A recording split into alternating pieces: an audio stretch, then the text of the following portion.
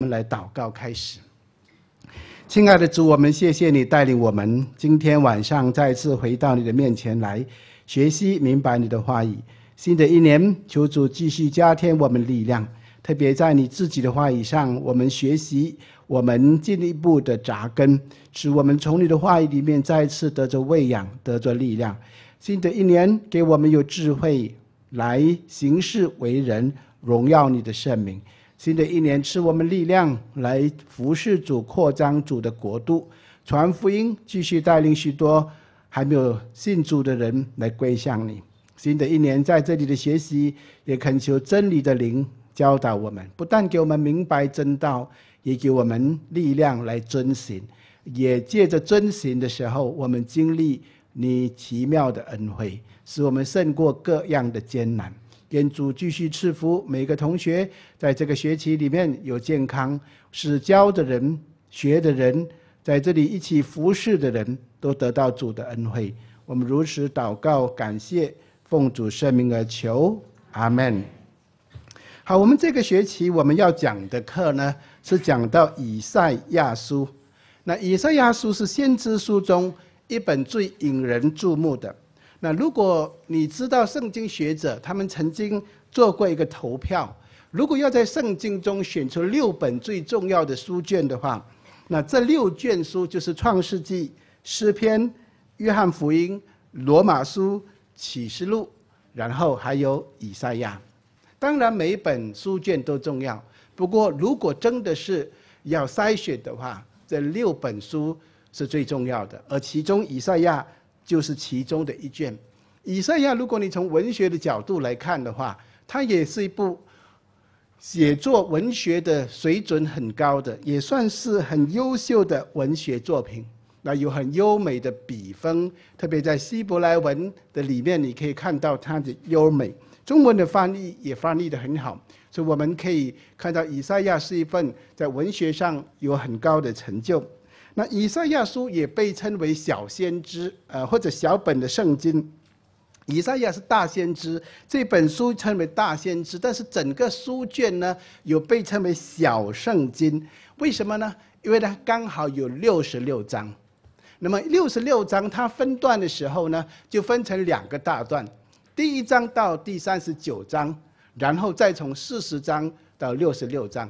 也刚刚好，它的主题一到三十九章，我们知道旧约有三十九本书，新约有二十七本，也就是加起来是六十六本。那旧约所讲的就是律法审判，那么以赛亚书的一章到三十九章也是讲律法跟审判，到了四十章开始一直到六十六章呢，是讲到恩典神的救赎。那你看到。呃，新月也是讲到恩典、神的救赎跟新天新地、神永远的国度，那都在四十章到六十六章里面。那四十章一开始呢，就是要的第一句话就是要安慰、安慰我的百姓。讲到什么，在旷野有人声呼喊的时候，那就是好像施洗约翰到耶稣来之前，他出来宣告这样。所以这是一个很好的。配合那给我们知道以赛亚书的独特。不但如此，以赛亚书也被称为福音派的先知书。那里面有许多关于传福音，特别是福音的信息，有福音的这个章节，有很浓厚的福音的信息。那我们很多的基督徒都会背很多的经文，好像以赛亚书七章十四节，必有童女怀孕生子，你们要给他起名叫以马内利。那第九章第六节讲到必有婴孩为我们而生。那么我们看到第五十三章的时候，他就提到耶稣基督怎样，他没有家型的美容使我们羡慕他，但是他却好像羊被牵到宰杀之地。那我们。常常会在很多的经文的里面看见福音的信息，所以传福音或者布道的信息当中，先知以赛亚书的经文常常被引用，所以我们可以知道它有很浓厚的福音信息。不但如此，那全本书把上帝的救赎的计划、人类的历史跟神从永远到永远的计划，在我们面前展开。也就是说，你读了以赛亚书。你就看见人类的历史是有一个计划的，神有一个永远的计划。我们这个历史不是没有方向的，我们人类的前途不是没有目的的。我们最终要看见神要把人带到新天新地、新耶路撒冷去。所以，我们这些跟从主的人，当你看到以赛亚书，你就对前景有一个盼望。你知道信耶稣的人，在这个世界最后的盼望就是神的家。那我们会看见神怎样一步一步的引到历史。我们已经来到历史的末期了，也就是以赛亚书大部分的预言已经应验了，只剩下一小部分的预言，在不久的将来我们要看见它预言应验。所以，当你读以赛亚书的时候，你好像进到一个很伟大的建筑，一个很华丽的宫殿。你不断会发现其中的奥妙，特别它一些的结构上的独特性，而产生了许多的感叹，或者说一种赞美，对神的一种赞叹。所以这就是我们会在以赛亚书里面看见的。这是大概我们对以赛亚书有一个初初步的一个了解。那接着下来，我们谈谈它的作者。那作者当然就是以赛亚。以赛亚这个名字的意思呢，就是耶和华的救恩。那么在圣经里面，一共有七个人是名叫以赛亚的，但是只有一个是我们所谈到的以赛亚。这个以赛亚就是亚摩斯的儿子，他的父亲是叫做亚摩斯，但是你不要把另外一个先知的名跟他混淆。另外一个叫做阿摩斯啊，很靠近。阿摩斯跟亚摩斯。是不同的。我们讲的是亚摩斯，他爸爸是谁呢？不是很清楚。不过很有可能，呃，根据犹太人的传统认为，他是当时候犹大王叫做亚玛谢王的弟弟。那如果这是真实的话，换句话说，以赛亚跟当时候的乌西亚王呢，就是堂兄弟了。那这也难怪他常常可以进出王宫的。你看见先知以赛亚是在王宫做先知的，他可以走到以西西西家王的面前，他可以进到王宫里面，他甚至可以在外交的政策上面给当时候的君王建议。可见他在王宫出入，他是属于皇家子弟。好，那么那这个先知他就是很有这个很独特的身份。那么先知中最清楚有没有结婚的，就是他了。啊，有些先知你不搞不清楚他到底有没有太太的，啊，那么有的有太太从来不提到太太的，那有一些是有太太，太太很早就死了，好像以西结这样，但是以赛亚不是很清楚，他有太太，而且他的太太也是一个女先知。不但如此，他们很符合家庭计划，只生两个，啊，这两个呢儿子呢都成都成为一一员的一部分。也就是他的儿子的名字成为预兆的一部分。当神要讲明一个预言的时候，给一个记号，他的儿子的名，或者他儿子的处事，或者他儿子的生长过程，就成为一个记号。那就是我们看见以赛亚的家庭背景。那以赛亚他是在乌西亚王死的那一年，大概是在主前七百四十年。那离开我们今天就大概是两千七百多年了。那在主前七百四十年，神的一一呼召临到他，他就出来做先知。那他侍奉的道路里面经过了四个犹大王，那就是乌西亚、约旦、亚哈斯跟西西家，算是很长的日子。那么他的侍奉年日大概五十三年这么久。一个人要侍奉主超过五十年。他一定要几个条件：第一，他一定要出道很早，啊，不能够七老八十才来奉献，啊，他可能十多岁他就要出道了。第二呢，他要命很长，啊，如果命很短也难做侍奉主，说的侍奉五足五十年，你要侍奉主五十年，如果你二十岁出来，你要七十岁才侍奉主五十年，对不对？如果你五十岁才出来，那就要一百岁才会侍奉主五十年。所以要出道很早，要长命，就是还有一个很重要的，要很忠心啊。有些人十八岁奉献啊，二十岁就离开奉献的道路了。所以你的侍奉要很忠心，当然这些都是神的恩典。那先知以赛亚就是一个，他蒙受主给他的恩典，他忠心耿耿的侍奉主五十三年，这是很难得的。最后，他为着他的信仰，为着主，他殉道而死。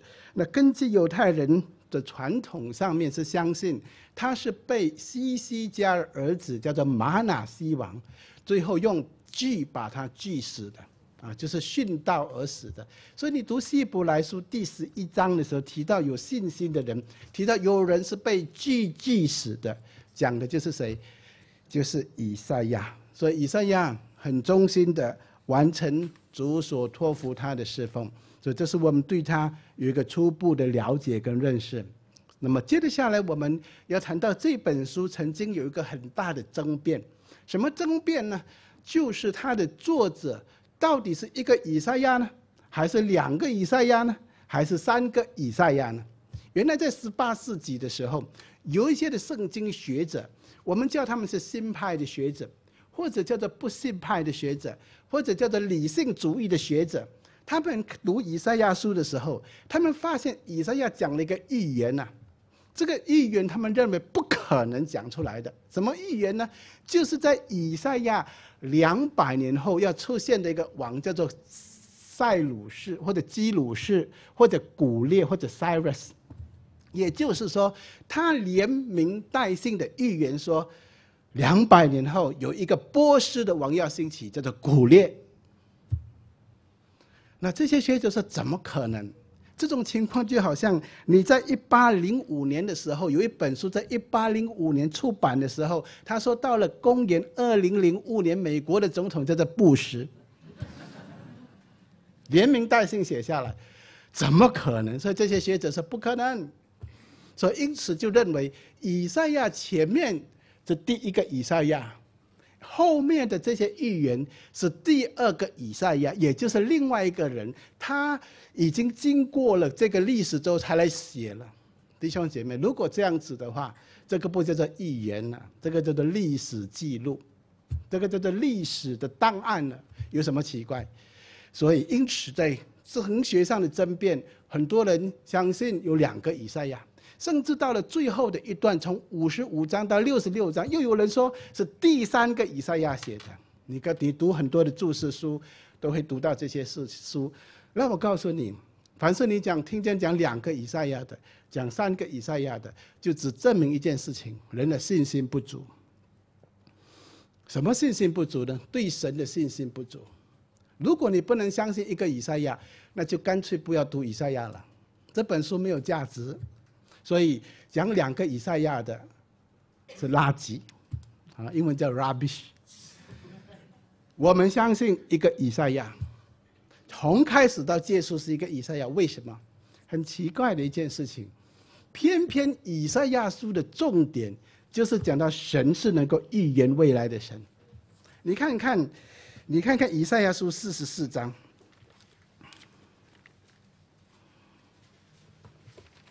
以赛亚书四十四章，在四十四章第六节怎么说？四十四章第六节讲到神的时候，我们一起读第六、第七两节。耶和华以色列的君，以色列的救赎主，万军之耶和华如此说：我是首先的，我是末后的，除我以外再没有真神。自从我设立古时的名。谁能向我宣告，并且指明又为自己陈说呢？让他将未来的事和必成的事说明。你们不要恐惧，也不要害怕。我岂不是从上古上古就说明指示你们，并且你们是我的见证。除我以外，岂有真神？诚然没有磐石。我不知道一个在这里，神怎么说？让他将未来的事和必成的事说明。神能够知道什么未来？知道未来的才是什么？才是神。一个不知道未来的人，他一定是人，他不是神。一个神一定要知道未来。如果一个人说我是神，却不知道未来，他不是神，他神经。他不是神。神一定要知道未来。你再看另外一节的经文，你再翻到，同样是以赛亚书，你继续的。看到第四十八章，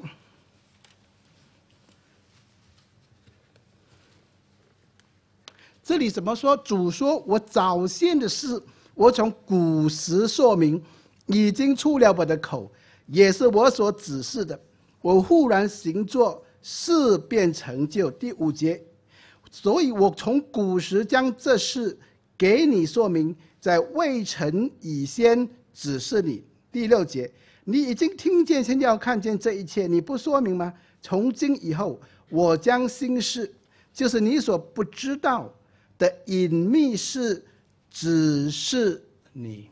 那你看以赛亚书在介讲到神的时候，讲到神可以知道未来，所以当神给他一个启示，两百年后有一个人波斯王子的骨裂要兴起来，有困难吗？没有困难，感谢神。嗯，竟然圣经学者怀疑这是困难。你看见，证明他们不信神，不相信神能够指示未来。所以我们始终相信，这是根本就是以赛亚书的主题，根本就是以赛亚书要证明他是从神来的，所以他可以讲未来要发生的事情。当然，先知不是凭着他自己，先知是神启示他的，他是真先知，不是假先知。所以真先知领受启示，知道未来的事情，他讲的一百八千会应验。果然，两百年后神兴起一个人叫做古列，那两百年后应验了。还有其他的预言，我们慢慢的研读下去，会看见一件一件一件的应验出来。你看见当先知以色列预言耶稣的降生的时候，必有童女怀孕生子。时间到了，七百年后，果然童女怀孕生子。很奇妙的，当他预言的耶稣基督好像羊被牵到宰杀之地，实际上事件到的时候，果然耶稣基督好像羊被牵到宰杀之地，所以我们坚持相信只有一个以赛亚。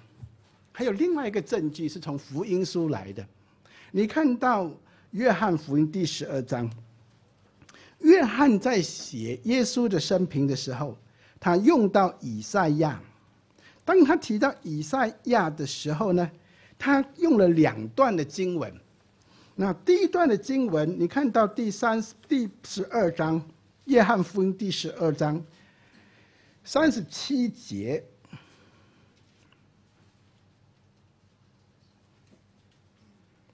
十二章三十七节，他虽然在他面前行了许多神迹。他们还是不信他。三十八节，这是要应验先知以赛亚的话说：“主啊，我们所传的有谁信呢？主的宝贝向谁显露呢？他们所以不能信，因为以赛亚又说：主叫他们瞎了眼，硬了心，免得他们的眼睛看见，心里明白，回转过来，我就医治他们。以赛亚因为看见他的荣耀，就指着他说这话。”约翰写约翰福音，用了两这两段的经文都在以赛亚。很妙的是，第一段呢，在三在三十八节的这个呢，是在以赛亚五十三章，那是什么？后面的。而前面的四十节，主叫他们瞎了眼、硬了心呢，是在以赛亚书第六章，是前面的。他没有说有两个以赛亚，他说以赛亚。就是一个以赛亚。圣经的学者，十八世纪的圣经学者，会比约翰更清楚吗？如果有两个以赛亚的话，约翰会这样子写吗？所以你看这两段的经文，根本约翰说他就是一个以赛亚，这就是我们坚持一个以赛亚。那神是很奇妙的，当人不相信的时候。神有办法使人感到羞愧。弟弟兄姐妹，当你不要唱诗的时候，神会叫势头开口赞美主；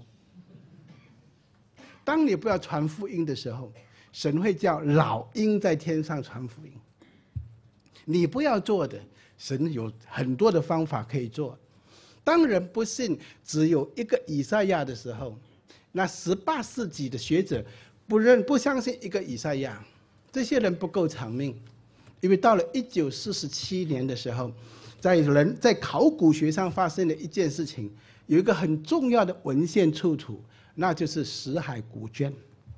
也就是在死海的旁边有一个地方叫做昆兰，在昆兰的山洞里面，偶尔有一个牧羊人，因为羊不见，去找羊的时候，却发现了在一个山洞里面有什么，有一卷一卷的这一些古卷，那么把这些古卷拿出来了，这些古卷很值钱的。刚开始发现时候，没有人知道它值钱，甚至有人把它卖给游客，一小片一小片一块钱，卖买到的今天都几十万了。你当时候没有买，很可惜呀。所以有时候你去旅行，人家卖你一块钱一块钱，不要紧，买下来，说不定那就是另外一个古卷。特别到圣地去的时候，那那一些古卷全部的很多的破烂不堪了，一直。以后辗转被希伯来的学者发现，以后当然成为很值钱的。而希伯来学者就把它拿来研究的时候，那些破碎的一片一片跟他借起来的时候，他们发现原来这是祖前一百年的手抄本，离开我们大概是两千一百多年的手抄本，那是很古老的手抄本。在这之前，人拥有的手抄本是祖后九百年的。现在向前推祖前一百年的手抄本，很值钱的手抄本，但是只有一卷书是完完整整没有破碎的，就是以赛亚书。然后学者发现，从第一章一节一直抄到六十六章最后一节的时候，中间没有切断。换句话说，他如果是两个以赛亚，他应该是两卷来抄的。但是他不是，他就是一卷从头抄到尾，就表示他是一个圣经的作者。所以今天你到圣地去，死海古卷博物馆中间那个圆圆的那一个，就是放什么以赛亚书，你就看到神很奇妙，人不讲话，神自己做见证。所以古卷的发现、考古的发现，要证明的理性上其实是很有限的。我们感谢上帝，所以这个是在以赛亚书很出名的争论。所以以后人家问你，以赛亚有几个作者？只有一个作者。你到新派的神学院去，他会告诉你两个作者、三个作者。我常常说，如果你相信两个作者，那就干脆不信好了。你相信三个作者，你又信圣经做什么？都是人所写的。我们相信圣经是神的话，神的启示。所以。让我们对以赛亚书有这样的认识，以后你再读到这这一类的书，你知道懂得分辨啊，什么是两个以赛亚，什么是三个以赛亚。那接着下来，我们谈一谈这本书简单的结构。那我盼望你花一点的时间，六十六章，在这一个学期里面，把它一口气做下来把它读。那你一次读看能够读多远啊？可就好像你能跑多远这样，你读读到二十章你就停，下次再读，那在最短的时间把，呃以赛亚书六十六章读最少两遍，啊，那么你读了之后就有个印象，大概以赛亚书怎么样情况？有你不明白没有关系，我们这些课这个课程的目的就是让你明白以赛亚书，等它主要的结构基本上就分成两个大段。第一章到第三十九章是一第一个大段，提到审判的预言。你读到很多的审判，关于将来的审判、现在的审判、当时候先知讲到的审判的预言。第二个大段从四十章到六十六章呢，都是安慰的，神安慰他们，告诉他们将来的盼望，那是安慰的预言。预言是因为当以赛亚讲的时候，很多事情都还没有发生。当然，今天我们看有些事情已经发生了，有些事情还没有发生。那我们就知道神通过以赛亚来讲，所以这两个大段，在第一个大段的里面呢，从第一章到第十二章，主要的针对犹大国的审判，还有告诉他们神将来要怎样复兴他们。他们从十三章到二十三章呢，是犹大国周围列国神对列国的审判。那么在第三段呢，从二十四章到三十五章，那个范围更广，神论到全地的审判，还有他要他要赐福这个全地，那一直到三十五章，三六、三七、三八、三九，很特别的四个历四四章是讲历史，历史的岔路。这段的历史讲到西西家跟巴比伦跟亚述之间的历史事件，可以算是以赛亚书中最有故事性的，就是这四章的圣经。以后就没有故事了，都是讲论了。接着下来四十章一开始就是你要安慰。安慰我的百姓。那你如果在圣诞节的期间听米赛亚神曲的话，第一句话就是唱以赛亚的这一句话：你要安慰安慰我的百姓。从那边开始写米赛亚的神曲，那就讲到神怎么安慰百姓，以色列人怎么复兴，米赛亚的盼望，国度的降临，都是在最后的一段。所以这是主要很简单的一个结构，我们有一个基本的结构了。啊，那就就是我们对以赛亚书的一些的认识，一些的介绍。那我们在这里上课，这个学期我们先读以赛亚书，我们要达到什么目的呢？那几个目的，我们盼望让同学们上完课了之后，第一个目的更认识神，还有知道他勇士的计划，更认识神。我们可以从以赛亚书更认识我们所信的神。还有他从永远到永远的计划，你上过以赛亚书，你对整个历史有一个方向，对信仰有一个体验。这个信仰不是哦，我信耶稣得救那么那么一件的事情，这个很重要，没有错。但并不是不是偶发的事件，这是一个神从创世以前的计划，然后来到你信主啊，你信主了之后，你就借在这个勇士的计划里面，一直延续到什么？将来我们可以看到新天新地新耶路撒冷，就是神勇士的计划。啊，所以并不是说我得救了，那那么那么那么那么一片段的事情是永远的。那上完这个课，我们第二也盼望更明白上帝在历史还有信徒身上的作为，神怎么引导历史。那我们在都在历史的一部分，你也在写历史，你怎样被神使用？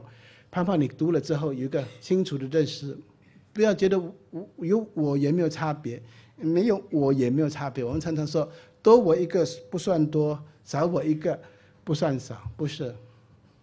你是生勇士的计划，不多不少就是多你这一个，不多不少就是不能少你这一个，就是你一你是在勇士计划里面神的一部分，神拯救的数目当中。的一部分啊，你会感觉到，你知道你在历史中神使你成为有价值的。第三，你读了之后会承认人真的是败坏的，我们人需要上帝的救赎恩典。你会看见犹大人怎么败坏，怎样子的在他们的生命的当中腐败到一个地步。你会看见自己的影子，当你照镜子的时候，以赛亚书给你看见自己的世界。还有第四，盼望我们读了以赛亚的课程之后，我们更加的爱主，而且传福音，为他而而活。第五，那更感恩，享受上帝给我们这样的恩典。所以这是盼望我们要达到的目的了。那么，关于在上课的过程当中，你有什么问题？因为我们的课，我们的人很多，没有办法给同学们举手问答。你可以写下来，关于你听了之后不明白的。你读了之后不明白的，你想知道的，你可以写下来。不过你不要问以以后的先哈，以后的有耐心。那我们慢慢听，你听了之后还是不明白，你写下来，你可以交上来，我就给你解答。所以盼望通过这样的方式，能够大大交流。那最好的消息，在这个课程里面，这个课没有还没有考试的，啊，也没有测验的，啊，这是我们呃。在校外同学的一种啊特权啊，你只需要听领受，那你要做笔记也可以，你不要做笔记，呃买讲义也可以。那么最终的目的是让你知道认识，那这是一个呃神给我们的一个恩惠。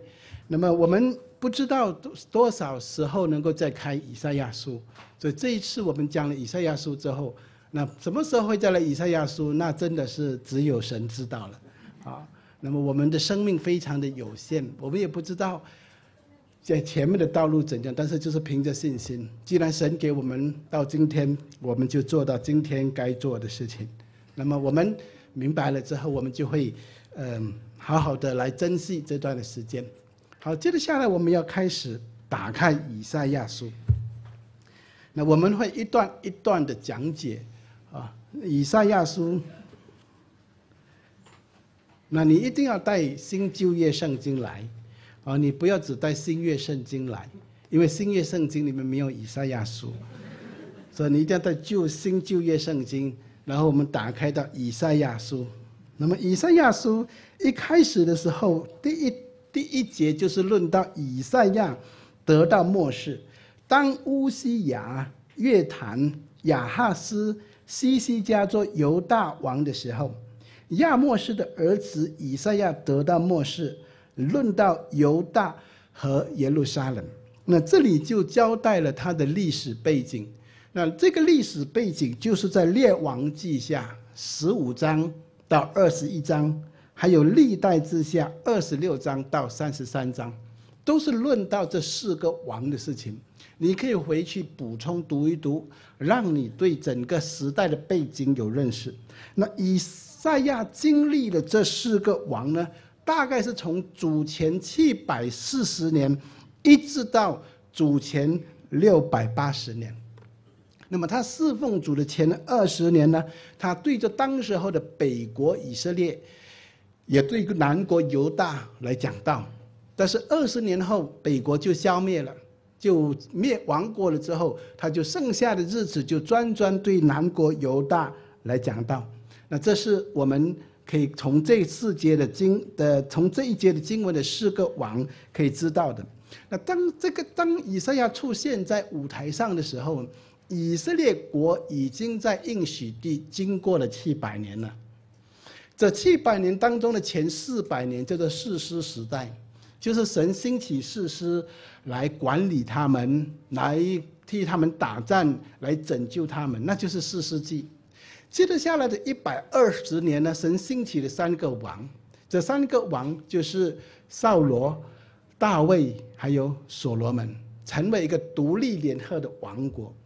这三个王过去了，大概在主前九百这个呃一十七呃九百一十七呃一一百一九百一十七年的时候呢，他们发生内战，内战了之后就分成南国跟北国。所以，当以赛亚做先知的时候，北国也经历了十八个王了，但是十八个王没有一个好王，剩下两个王要出现，然后国家就灭亡。那两个王也不是好王，所以北国没有好王。南国呢，当南国呢也经历了有也经历了十一个王了，就十一个王已经过去了，所以那个十一个王呢，有的好，有的坏。那么以赛亚本身经历这四个王呢，有的好，有的坏，所以我们可以看见这是犹大国的特色。那么当时以色列国，呃，是一个很小的国家，它周围有三个很主要的势力：巴比伦、亚述跟埃及。所以他们这三个国家常常打仗。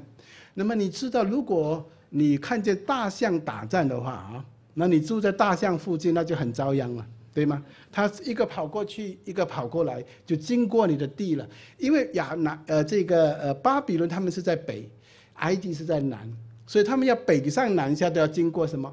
经过以色列，所以以色列常常受到这些列国的威胁。这也是我们会从呃以赛亚书看见的。那以赛亚的第一第一章第一节给我们看见什么？给我们看见世界上的君王，不管他的权势多么大。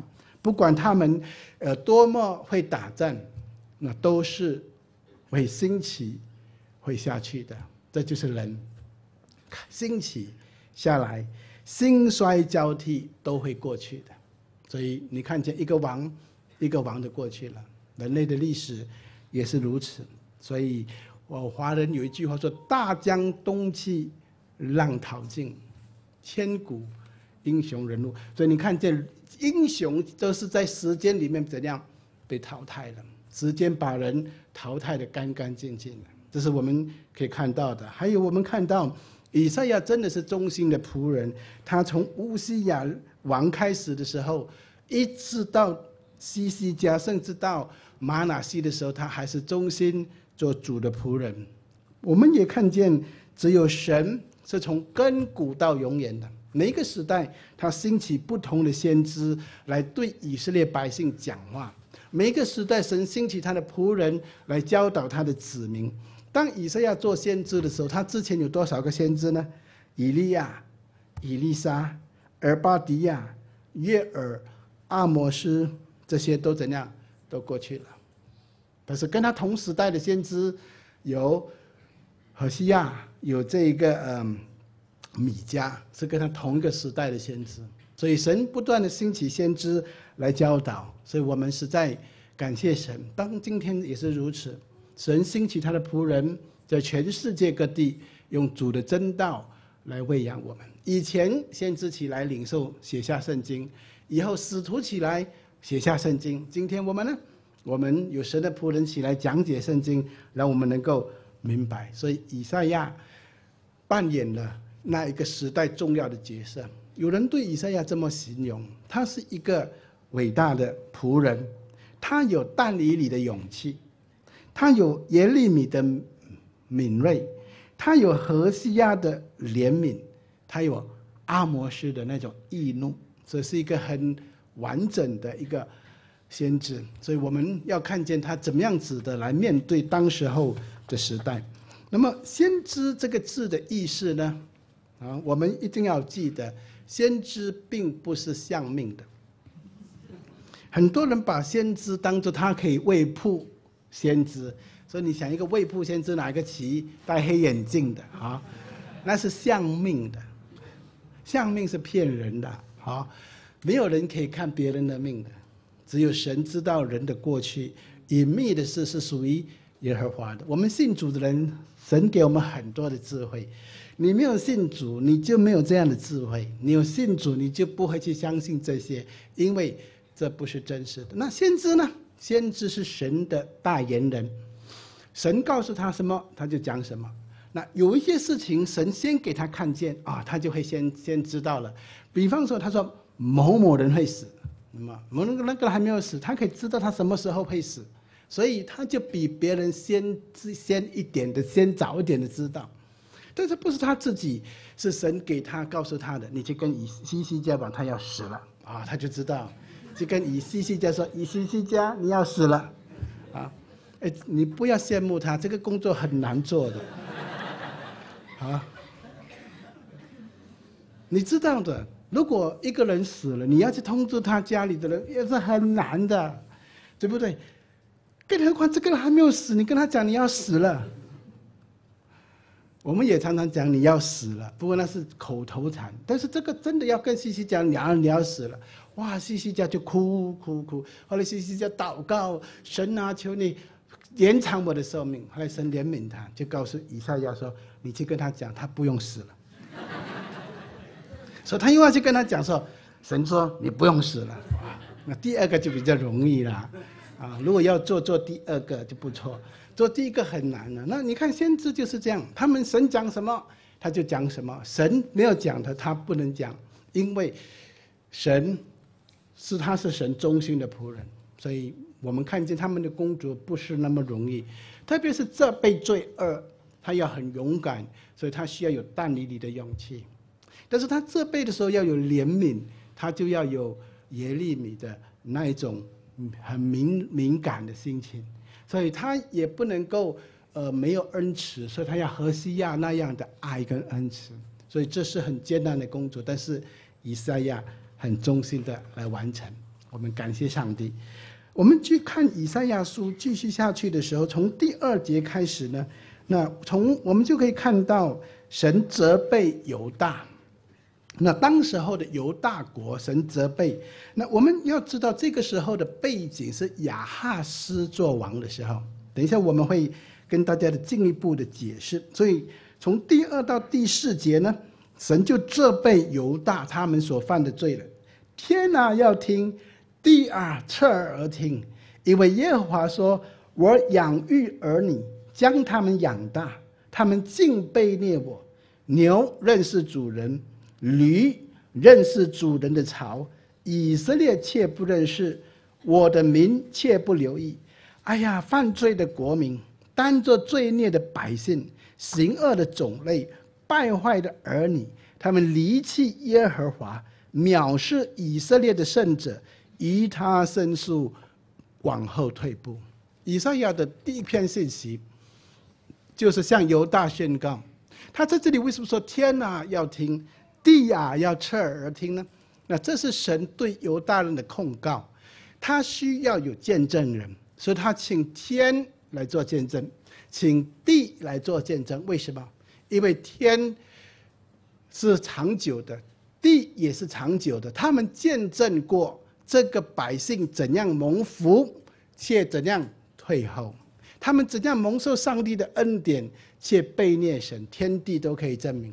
所以这个意思是，好像请天跟地做陪审团，在一个法庭里面来控告他们。然后请他们做见证，这是第一个原因。第二个原因，因为人犯罪不是单单危害了人，人犯罪也危害了环境。神造的伊甸园本来怎样，很好的，神给人的都是很好的。但是圣经说，当人犯了罪了之后，地就受到咒诅，所以就经济长得出来，天地的环境都。受到咒诅，所以来到罗马书第八章的时候，保罗就提到万物也在叹息。不要你不是你叹息而已啊，你不要整天唉嗨嗨啊，你叹息而已。当你嗨的时候，你旁边的花也是唉。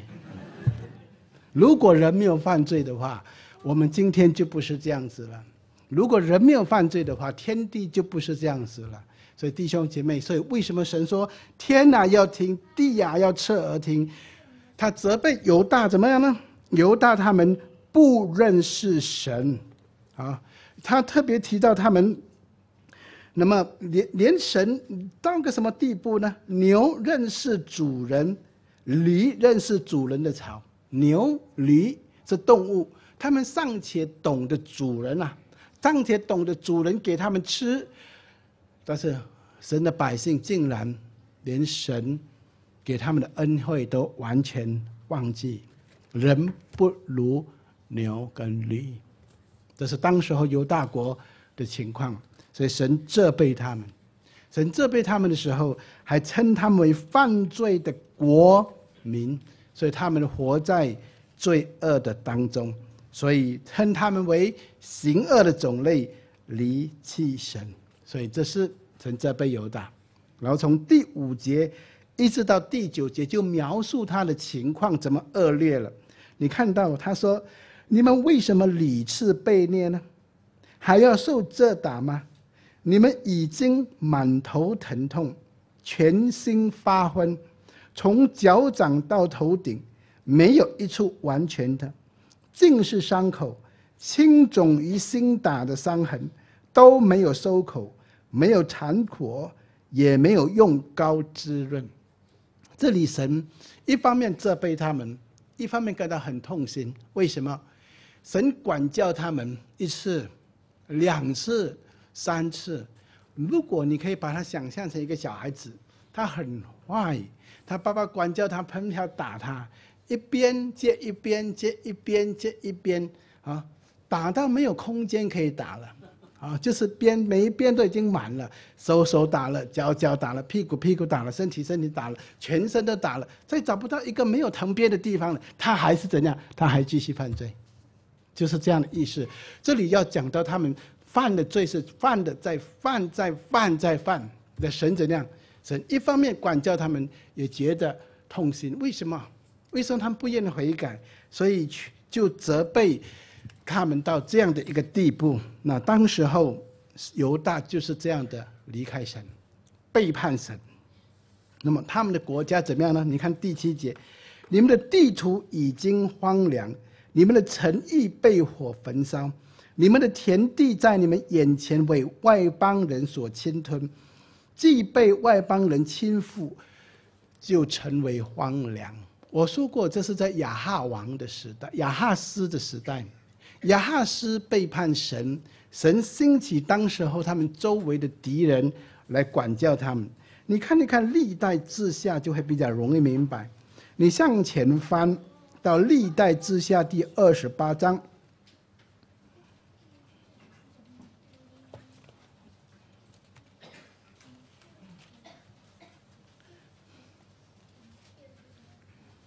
啊，历代之下二十八章开始怎么说？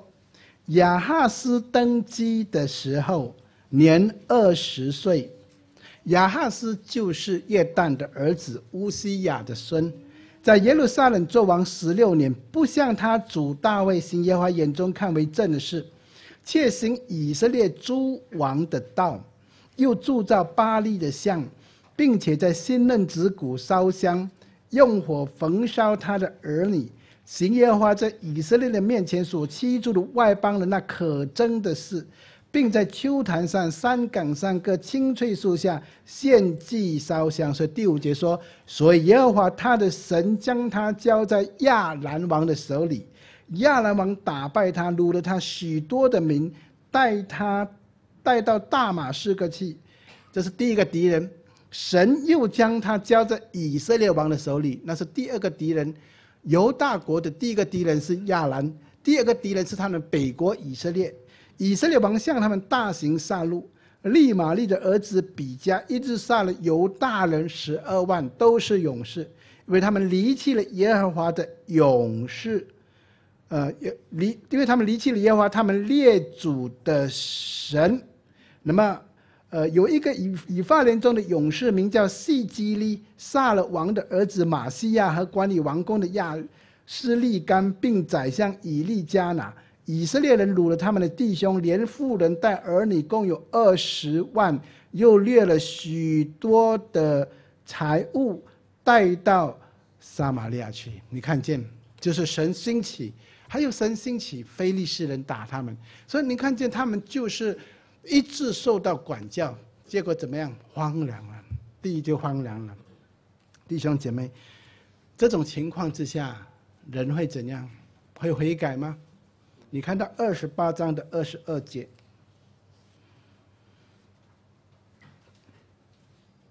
这一起读：这亚哈斯王在极难的时候，越发得罪耶和华，所以神说：“我怎么管教你们？”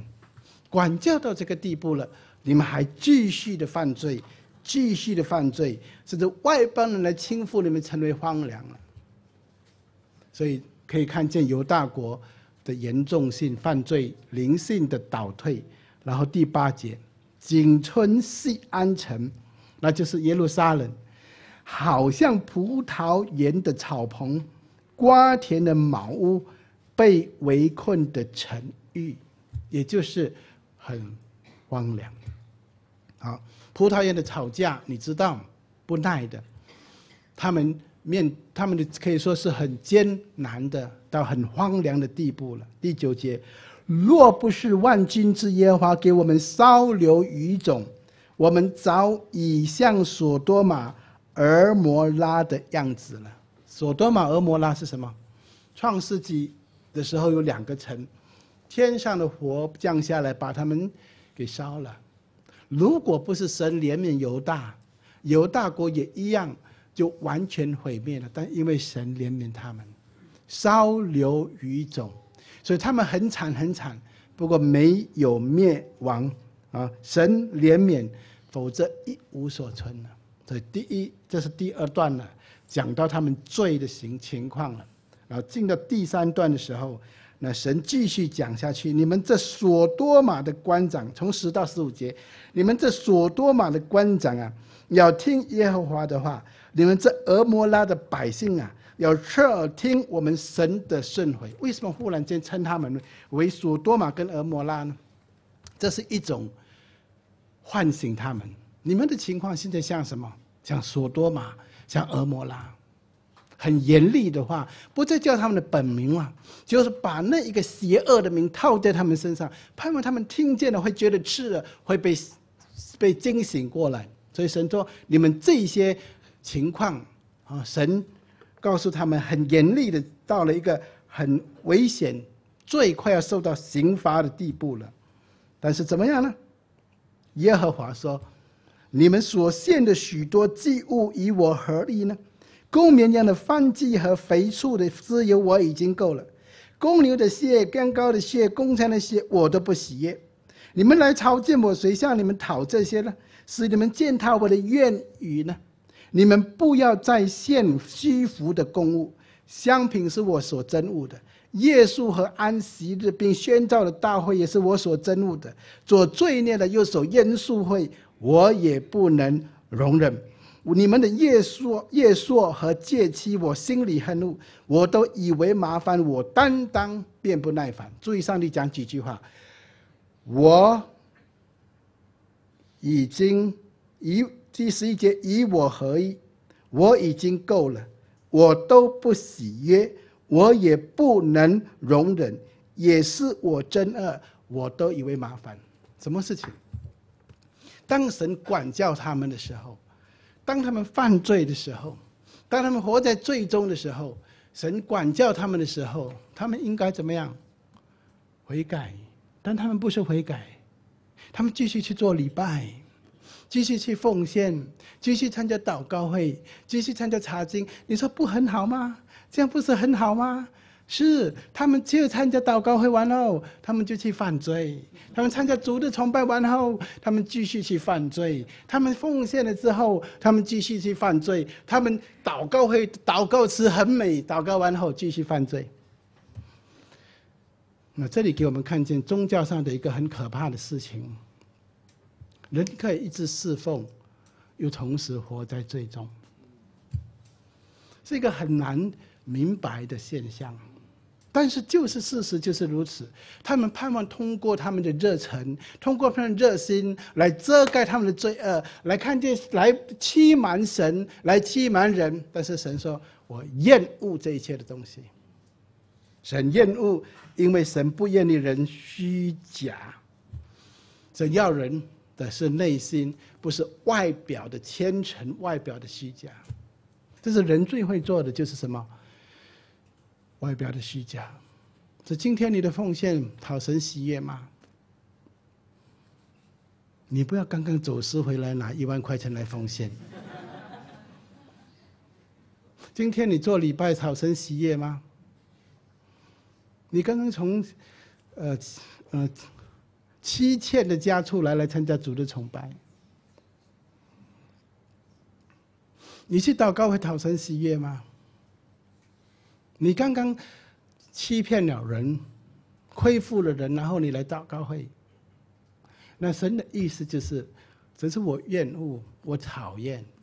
啊这是我们需要思想跟反省的。啊这是一个很严重的问题。但当时候犹大国就是这样的情况，所以神警告他们不要再奉献了，不要再献祭了，不要再做礼拜了。你们做这些东西都没有用，为什么？因为你们活在最中，虚假的宗教，神厌恶。